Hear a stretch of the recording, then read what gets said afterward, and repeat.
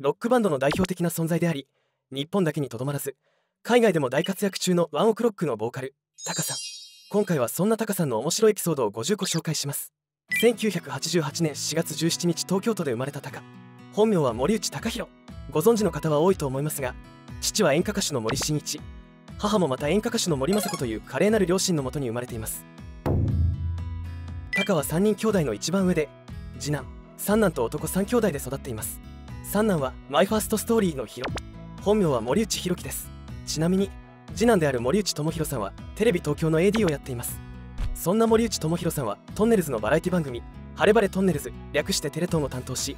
とんねるずにお茶を出しておもてなしをしたことがあるそうです。その時にとんねるずのお二人にお茶を出すと石橋に「ジョイマンに似てるよね」といじられさらにモノマネを要求され「おふくろさん」を歌ったとのこと。唯一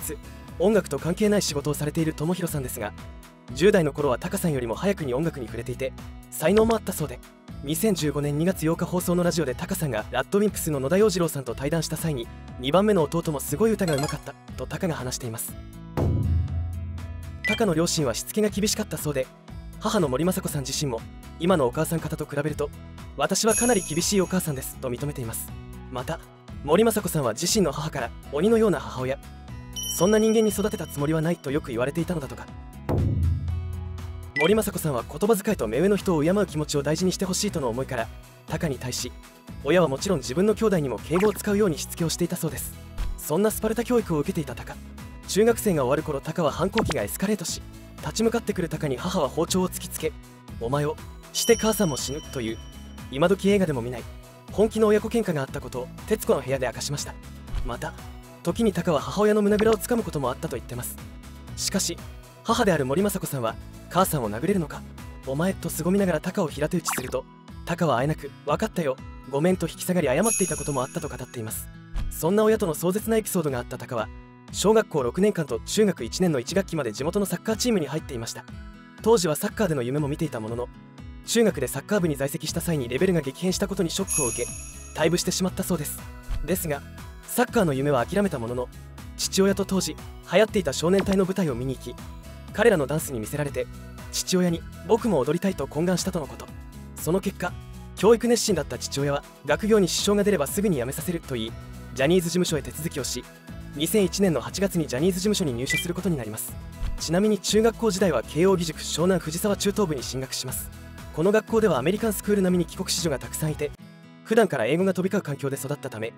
留学なしでここまで英語の発音が上達したとインタビューで語っています。ジャニーズ時代は父親からの条件付きでレッスンは週1回。土曜日のみ参加となりますがなんと今では有名なグループ。ニュースの結成メンバーに選抜されます。しかしそんなデビューしたタカに対し親の七光などのバッシングの声が上がり加えて森進一さんの公式サイトに閉鎖せざるを得ないほどの大量の苦情が届いたそうです。ここからタカは飛行に走ってしまい学校中に素行の悪さが轟いてしまうほどの行動をとってしまったり女性とのプライベート写真も流出したりしてしまいます。そしてデビューしてわずか3ヶ月でジャニーズ事務所のアイドルグループニュースを脱退することになります。ジャニーズを辞めたタカは同時期に共通の友人と共にライズの金子信明さんと食事をする機会がありライブに誘われライズのライブを見て感動したそうです。タカはこれをきっかけにロックに目覚めバンドをやりたいという思いが生まれたと語っています。そして慶応義塾湘南藤沢高等部に入学していたタカでしたが高校1年生の冬バンド活動に専念したいという理由で高校を自主退学します。高校を中退後タカは飲食店で寝泊まりのアルバイトをしていたそうです。佐藤健の YouTube チャンネルでは16歳で家を出てからずっとそこで1年半働かせてもらって料理を覚えたって感じ。社交性もそこで覚えたんですよと語っています。音楽活動に関しては大阪の音楽学校へ定期的に通ってギターやパソコンを習い始めます。そしてタカは友人2人と3人編成のバンド COM シバルリー・オブ・ミュージックを組み R&B やバラード曲中心のライブ活動をスタートさせました。そのバンドのライブをワンオクロックを組んだばかりのトールが共通の友人を介して見に訪れます。トールはタカの声と歌唱力に衝撃を受けたのと同時にタカはなんであんなにつまらなそうなんだろう。俺たちと一緒にやれば絶対楽しいのにと思いその場でボーカルに勧誘したそうです。しかしバンド活動自体をあまり楽しめていなかったタカはトールの勧誘を断ります。ただトールは諦めることなくタカを誘い続け最終的にはタカのバイト先に押しかけやっとの思いでワンオクロックへの加入を了承させたそうです。そんな熱心に勧誘し続けたトールですがトールが2021年に女優の大政彩さんと結婚する前タカとトールは同じマンションに住んでいたそうです。今ではロック好きな人ならほぼ確実に知っているバンド名のワンオクロックですがバンド名の由来は結成当時練習スタジオに入るのが深夜パックで料金が安くなる毎週末の午前1時ワンオクロックだったことからオクロック部分を OK とロックに置き換え一つの良いロックにかけて名付けられた名前だそうです。ちなみにバンド名を決める際にはメンバーが1人ずつ候補を挙げていったのですがタカが提案したバンド名はタクシーズ。このセンスにはメンバー全員が思わず失笑してしまったそうです。ここでタカの人間性についていくつか紹介していきます。タカは料理が好きでその腕前はメンバーも驚くレベルです。2016年にロサンゼルスで泊まり込みのレコーディングをした際はメンバーのリクエストに応えつつその場にある食材と調味料を駆使して料理を手早く作っていたそうです。オムライスやパスタ焼肉などメンバーの好物だけでなくカレーを56時間かけて作ったりもしていたとのこと。ちなみに高家では18歳になったら強制的に家を追い出すルールだったらしくそのための備えとして息子たちには子供の頃から料理をさせていたと森雅子さんの著書「母親力」で語っています。その本の表紙には息子を飯が食える男に育てると記載されています。タカの料理の腕前がすごいのは母親とアルバイトのおかげが大きいかもしれません。料理が大好きなタカですがタカは卵乳製品のアレルギーです。また猫アレルギーもあるとのこと。そんなタカはファンに優しいことでも有名です。タカが三浦翔平さんと一緒に渋谷を歩いている時にペンを持っていない若い男性ファンからサインを求められたことがあったそうで。その時にタカが「じゃあ俺がペンを買ってきてやるから待ってろ」と言いその男性と一緒にコンビニにペンを買いに行きそのペンでサインを書いたというエピソードがあります。また他のエピソードとしてタカの両親が離婚するタイミングの時当時高校生だったタカは母である森雅子さんに対し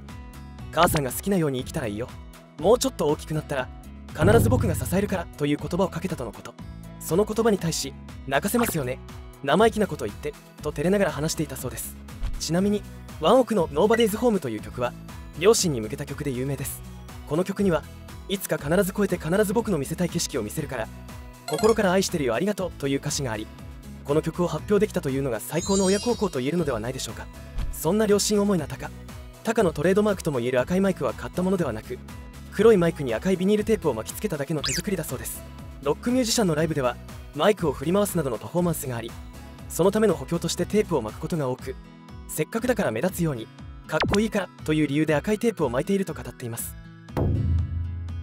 続いてタカの女性関係について紹介していきます。タカには12人の歴代彼女がいたそうです。歴代彼女の中には有名な方が多数います。タカが3人目に付き合っていた彼女は Perfume の西脇彩香さんことあーちゃんです。同じ事務所に所属し年齢も近かったことで仲が良かった2人。お互いの恋愛相談に乗っているうちに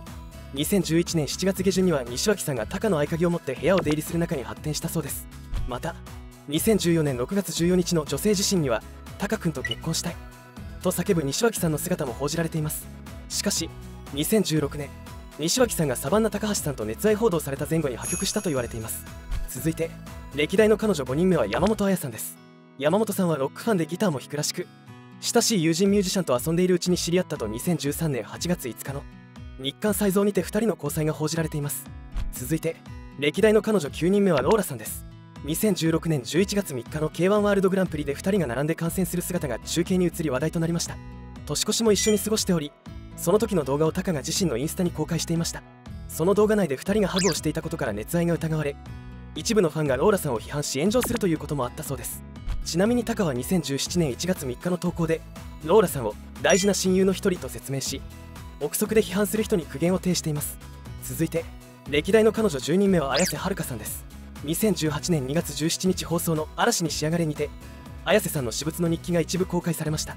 その日記のあるページにタカのことも思うというメモが透けて見えていたことで交際が噂になります。2018年11月28日の日刊大衆では綾瀬さんとローラさんがタカさんをめぐって共演 NG になっているとも報じられています。綾瀬さんはワンオクの大ファンでもあるためメモはファンとして日記に書いただけとも考えられています。最後の彼女12人目は遠藤雅子さんことマーサさんです。2015年にはマーサの愛称でテラスハウスに出演していました。タカとのきっかけは2022年にワンオクの「 Let Me Let You Go」の MV にてタカさんの恋人役として共演し熱愛が噂になっていましたが2023年現在も交際をしているかは不明です。ちなみにタカはビビのインタビューで日本の女の子最高ですよ。性格的に言ったら欧米の女の子の方がサバサバしてるし分かりやすいけど自分が日本人なんでなんか一緒にいて落ち着くと語っています。続いてタカの交友関係について紹介していきます。タカと仲の良い芸能人といえば佐藤健さんがいます。もともと佐藤健さんがワンオクの大ファンで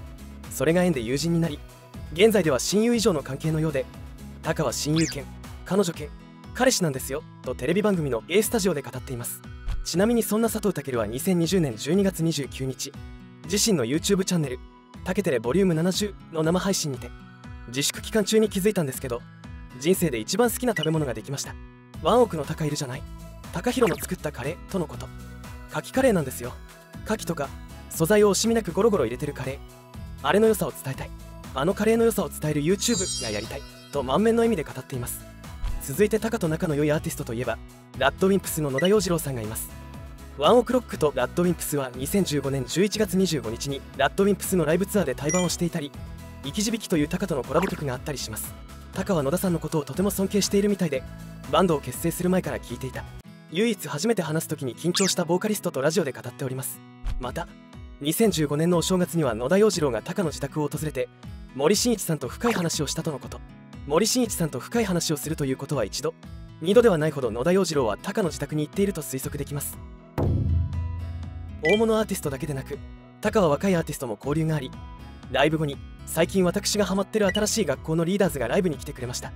とメンバーに囲まれ記念ショットを公開しました。タカは俺もはみ出しまくりの人生を送ってきたので一緒にこのポーズとコメントし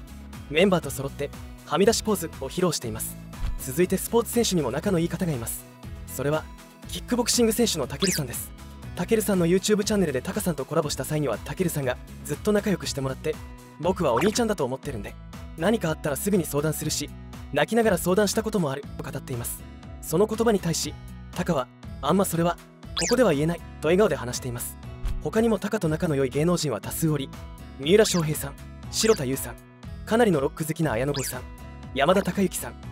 お笑い芸人では武井壮さんや TKO の木下隆之さんハリセンボン春菜さんがいます。その中でもファンが衝撃を受けたエピソードとしてハリセンボン春菜さんとのキス動画があります。タカが嫌がる春菜さんに無理やりキスを迫る様子がインスタに投稿されるということがありました。そんなあらゆる芸能人と仲の良いタカは兄弟仲ももちろんよく2023年11月14日にワンオクロックとマイファーストストーリーで一夜限りのライブを開催することが決まっています。タカはストーリーでも東京ドームで兄弟喧嘩と言葉を添え告知をしており期待している多くのファンが待ち望んでいます。いかがだったでしょうか？今回の動画が面白かったと思う方はチャンネル登録よろしくお願いします。